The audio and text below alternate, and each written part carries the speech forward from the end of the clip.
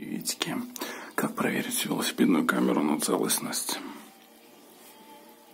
Просто опускаем ее в воду и из тех мест, из которых идут пузырьки, э, там, значит, пробой.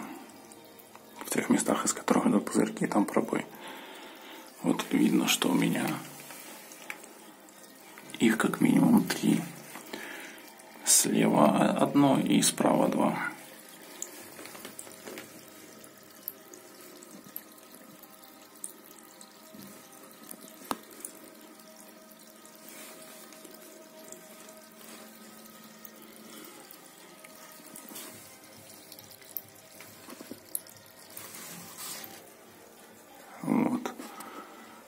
Как-то так это все проверяется.